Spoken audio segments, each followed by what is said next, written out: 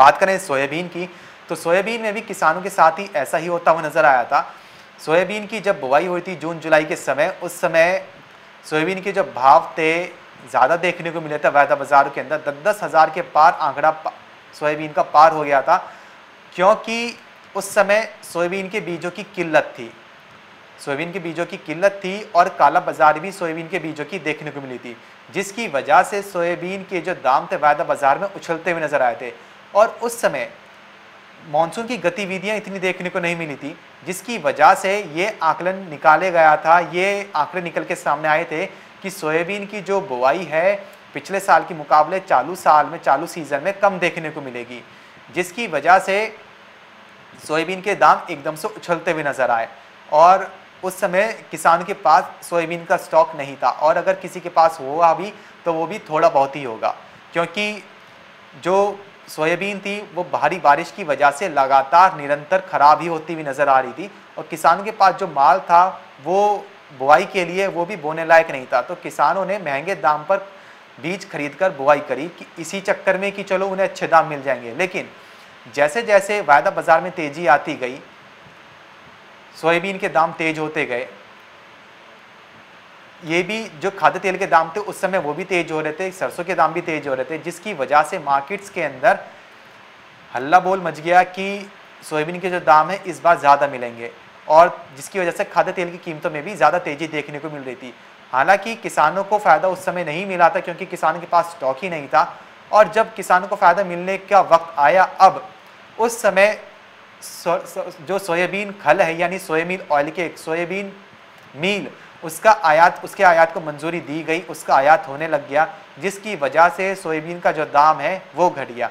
और अब खाद्य तेलों पर कस्टम ड्यूटी घटा दी गई और स्टॉक लिमिट लगा दी गई है, जिसकी वजह से सोयाबीन के जो प्राइसेस हैं, वो लगातार अब घटते ही नज़र आ रहे हैं। लेकिन जिस हिसाब से अब मानसून की गतिविधियाँ बीच में देखने को मिली थी, किसानों को काफ़ी ज़्यादा नुकसान भी हुआ है। सोयाबीन की फ़सलें बड़े पैमाने पर खराब भी होती हुई नज़र आई हैं।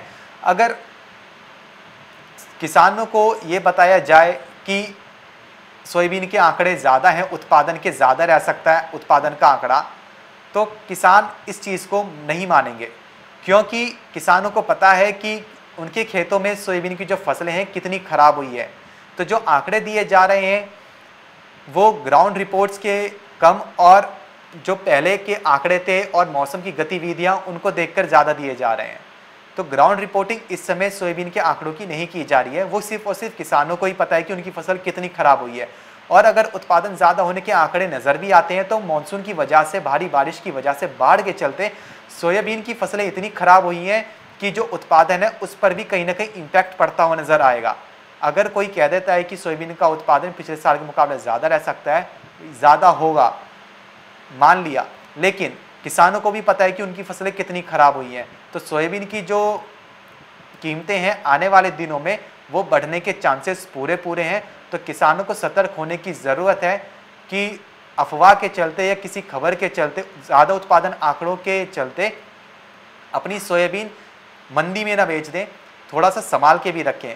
क्योंकि धीरे धीरे अब जैसे सोयाबीन का जो स्टॉक है, कम ही है और हालाँकि मंडियों में सोयाबीन की आवकें हो रही हैं, लगातार हो रही हैं, लेकिन सर्दियाँ हैं तो कीमतें तेज रहने का अनुमान है, क्योंकि खपत के आंकड़े नहीं है। आपको बता दें कि सोयाबीन की खपत भी बड़ी है इस बार। अगर उत्पादन ज़्यादा रह सकता है, ऐसे आंकड़े आए हैं तो खपत भी इस बार ज़्यादा हुई है। तो सोयाबीन की कीमतें अभी आगे चल के तेज़ी रहने का अनुमान है। इसके लिए हमने Astro Money Guru colonel Ajay का सोयाबीन पर इंटरव्यू भी अपने वेबसाइट पर अपलोड अपने यूट्यूब चैनल पर अपलोड किया है। आप वो भी जाके देख सकते हैं। और कल को हमने सरसों के ऊपर भी एक इंटरव्यू अपलोड किया था अपने यूट्यूब चैनल पर। आप वो भी जाके देख सकते हैं। दोनों के ही अंदर मंदी तेज़ी की पूरी रिपोर्ट बताई गई है कि सरसों का भविष्य कैसा रहेगा, सोयाबीन का भविष्य कैसा रहेगा। आप वो भी जाके आगे देख सकते हैं।